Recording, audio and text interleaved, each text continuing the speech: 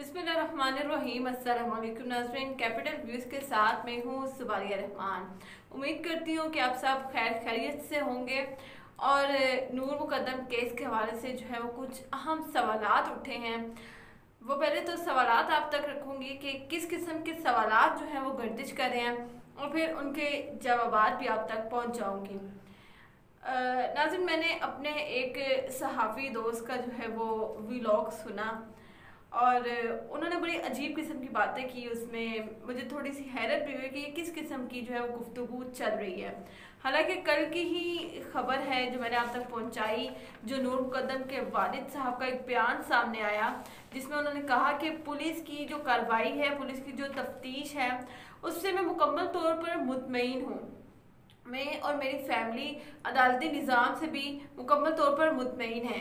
तो ये नाउमीदी वाली बातें जो है, ये केस को कमज़ोर करेंगी, केस का मोराल डाउन करेंगी तो इस किस्म की बातें करने से गुरेज किया जाए ये उनके वालिद साहब के जो है, वो अल्फाज थे, शोकर मुकदम साहब के।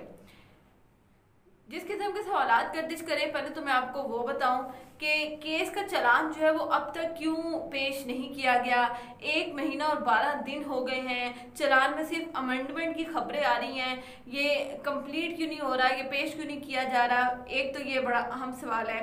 दूसरा ये कि पुलिस ने फ़ोन का जो है वो फॉरेंसिक हासिल कर लिया है। लेकिन वो कोई भी सबूत जो है वो अब तक पेश नहीं करी। सिर्फ़ ज़ुबानी कलामी जो है वो गुफ्तु चल रही है कि हमें फ़ोन में से ये मिला है, वो मिला है। अभी तक उन्होंने एविडेंस जो है वो अदालत के सामने पेश क्यों नहीं किया?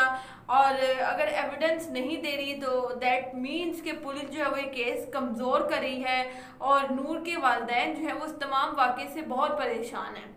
और उनको लगता है कि जो थ्रेपी वर्क की जमानतें हैं, उसके बाद जो है ये जो ज़ाहिर जाफ़र के वालदेन हैं, ये भी अपनी बेल के लिए दोबारा से अप्लाई करेंगे, दोबारा से जो है वो ये दरख्वास्त दायर कर सकते हैं अपनी बेल के लिए। वालदेन का ख्याल है कि पुलिस केस कमज़ोर करी और हुकूमत भी इन सब में कुछ नहीं करी। ये नाम नहीं लूँगी मैं उनका, जिन्होंने ये सारी बातें की हैं। और इसके अलावा भी बहुत सारे चैनल्स पर जो है वो इस तरह की बातें गर्दिश करी हैं। एक अहम सवाल नाजिन इस केस से जुड़ चुका है। जिसके बारे में पहले भी गुफ्तु हो चुकी है, लेकिन अभी तक नूर के वालदेन की जानब से इस किस्म का कोई जवाब जो है वो सामने नहीं आया और मुझे बड़ी शर्मिंदगी हो रही है कि ये सवाल जो है वो उठाया किसने। अभी तक अदालत में इस किस्म की कोई बात नहीं हुई जो हम सब आपस में कर रहे हैं। और वो ये है कि नूर जो है वो कत्ल से पहले जो है वो प्रेग्नेंट थी और इसी वजह से जो है वो ज़ाहिर जाफ़र के पास गई कि उनके पास कुछ सबूत थे जिनको लेकर उन्होंने दो महीने बाद जो है वो पुलिस के पास जाना था, केस करना था और इस सारी वजह से, इस सब डर की वजह से जो है वो ज़ाहिर जाफ़र ने उसका कत्ल कर दिया। नाजिन ये बड़ा आ, मेरे नज़दीक एक शर्मनाक किस्म का सवाल है और मैं समझ नहीं पा रही कि ये किसने जो है वो इस केस से जोड़ा है कि इतनी मतलब आप जस्ट व्यूज़ के लिए जस्ट अपने सब्सक्राइबर्स वगैरह बढ़ाने के लिए आप इस किस्म की गुफ्तु करते हैं और एक मासूम लड़की जिसके अभी तक जो डीएनए रिपोर्ट उसकी सामने आई है उसमें भी पुलिस ने अभी तक कोई ऐसी बात नहीं की। ये चीज़ जो फॉरेंसिक रिपोर्ट सामने आई, उसमें ये चीज़ साबित हुई थी कि जो नूर हैं, उन्होंने कत्ल से पहले काफ़ी मुजाहमत की और जब आप मुजाहमत करते हैं तो आपने अपने बचाव में अपने नाखूनों का इस्तेमाल करता है, अपने हाथों का इस्तेमाल करता है तो उसके नाखूनों से जो है वो उसकी, ज़ाहिर जाफ़र की स्किन मिली है। ये फोरेंसिक रिपोर्ट की बात मैं कर रही हूँ उसमें कहीं पर भी ये दर्ज नहीं था कि नूर वॉज़ प्रेगनेंट तो ये बहुत ही जो है वो एक, मेरे नज़दीक शर्मनाक किस्म का सवाल है जिस पर इस इस केस के हवाले से जो है वो गुफ्तु हुई है। खैर दूसरा अहम सवाल कि यूएस एम्बेसी ने जो है वो एक्सेस हासिल कर लिया है और अब केस जो है वो बहुत कमज़ोर पड़ने वाला है और यूएस एम्बेसी की इंटरफ्रेंस की वजह से वो अपने शहरी को बड़ी आसानी से जो है वो उनकी, उसकी ज़मानत भी मंजूर करवा लेंगे और उसको अपने उसको वापस जो है वो अमेरिका भी जाने दिया जाएगा। तो नाजिन मेरे नज़दीक जो है जितनी जिन जराए से मैंने ये पता करवाया है कि यूएस एम्बेसी की इंटरफ्रेंस की वजह से ज़ाहिर को बज़ाहिर जो है वो कोई फ़ायदा नहीं होने वाला। वो क्यों? क्योंकि ज़ाहिर जो है वो कोई डिप्लोमेट नहीं है। कोई बहुत उनका कोई फ़ेमस पर्सनालिटी नहीं है, कोई सेलिब्रिटी नहीं है जिसकी वो इस तरह से हेल्प करेंगे। ये उनके कवानीन हैं कि अगर आपने कहीं किसी दूसरे मुल्क में जो है कोई क्राइम कंडक्ट किया है तो आप पर जो है वहाँ के कवानीन लागू होंगे। हाँ अगर आपको कोई कानूनी मुआवनत चाहिए तो वो हम आपको फराहम कर सकते हैं।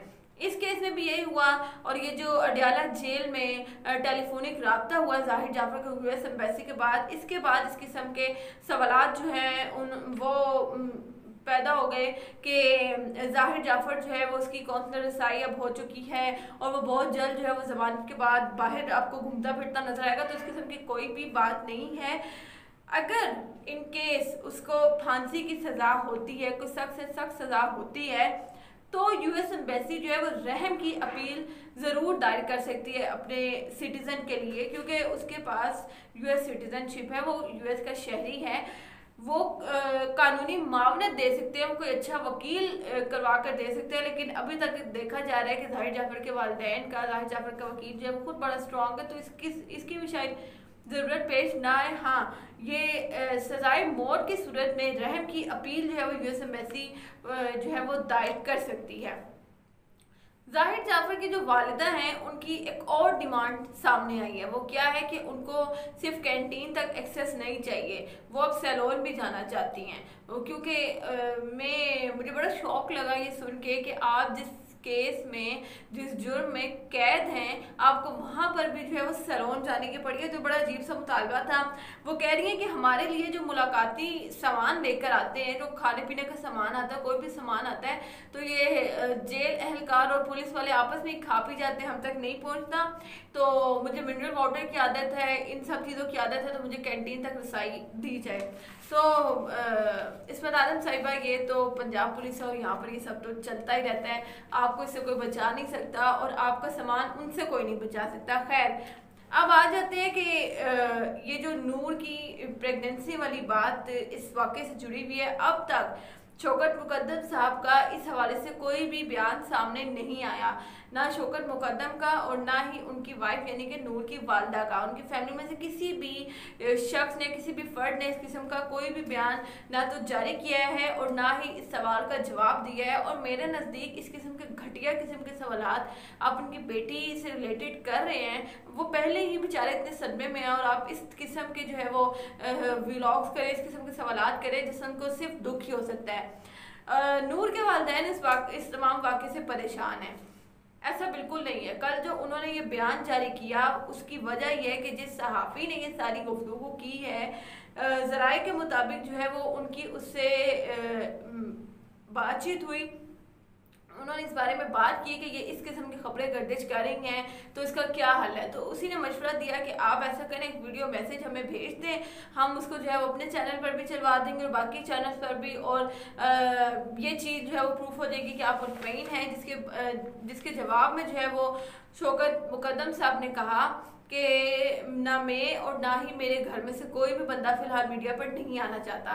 तो दूसरी ऑप्शन ये लगी कि आप जो है वो एक मैसेज रिकॉर्ड करके दे दें, एक बयान जारी कर दें तो हम आपके नाम से वो बयान जो है वो चला देंगे। तब ये चलान जो है वो ये जो चलान वाली बात है कि अभी तक चलान जो है वो पेश क्यों नहीं हुआ? नाजरीन अभी तक आप देखा, अब देखा जाए कि जो 31 अगस्त तक अदालतों की छुट्टियाँ चल रही थी जब अदालतों में छुट्टियाँ चल रही होती हैं तो एक सूरत में केसेस सुने जाते हैं और वो सूरत है अर्जेंट केसेस। अर्जेंट केसेस लगते हैं और उस पर समात होती है। अदरवाइज़ किसी भी केस की समात नहीं होती। और ये ये एक क्राइम कंडक्ट हुआ है, एक मर्डर हुआ है, इसकी प्रॉपर इन्वेस्टिगेशन होगी। ये अर्जेंट केस नहीं है। ट्रायल चल रहा है ट्रायल के बाद जो है अभी काफ़ी चीज़ें रहती हैं, फिर फैसला होगा। तो इस केस की समात आपको याद हो कि दो चार रोज़ पहले जो है वो ज़ाहिर जाफ़र को अदालत पेश किया जाता है, सिर्फ़ फांसी लगाकर वापस भेज दिया जाता है। इस पर समात नहीं होती। छः सितंबर तक इस केस की समात मुलतवी कर दी जाती है और उसकी रीज़न ये है कि ती इकतीस अगस्त तक अदालतों की छुट्टियाँ चल रही थी तो ये जो ये सवाल उठा है ना कि पुलिस चलान इसलिए पेश नहीं कर रही क्योंकि वो आ, केस को जो है वो ख़राब करना चाह रही है केस को लटकाना चाह रही है। एक दो महीने मजीद यही सब चलेगा और केस जो है वो ख़त्म हो जाएगा तो ऐसा नहीं है। मेरे नज़दीक पुलिस का ये बड़ा आ, अच्छा इकदाम है कि उन्होंने अभी तक चलान पेश नहीं किया क्योंकि अगर वो ये छुट्टियों में चलान पेश करती तो वो रिव्यू ही नहीं होना था उसको किसी ने इम्पोर्टेंस ही नहीं देनी थी। लेकिन अगर चलान एक बार मंजरे आम पर आ जाता तो ये जो ज़ाहिर जाफ़र की फैमिली है, ये लोग इस केस को, अपने केस को मज़ीद स्ट्रॉन्ग कर लेते क्योंकि उनको मालूम हो जाना था कि अब तक इनके खिलाफ क्या क्या सबूत पुलिस के हाथ लग चुके हैं और क्या क्या एविडेंस पुलिस के पास मौजूद है। जो ये सवाल उठ रहे हैं कि मोबाइल फ़ोन जो है वो मिला है, लेकिन उसमें से भी उसमें से जो भी सबूत मिले हैं, पुलिस वो सामने नहीं रख रही। उसकी भी यही रीज़न है कि पुलिस जो है वो फ़िलहाल इस किस्म का कोई भी सबूत अदालत के सामने रखकर उसको ज़ाया नहीं करना चाहती। जो खबरें आ रही हैं उसके मुताबिक अगले तीन चार रोज पे जो है चलान अदालत के सामने पेश हो जाएगा और चलान अब तक पेश ना होने की एक बड़ी वजह अदालतों की छुट्टियाँ हैं, यही वजह जो है वो सामने आई है।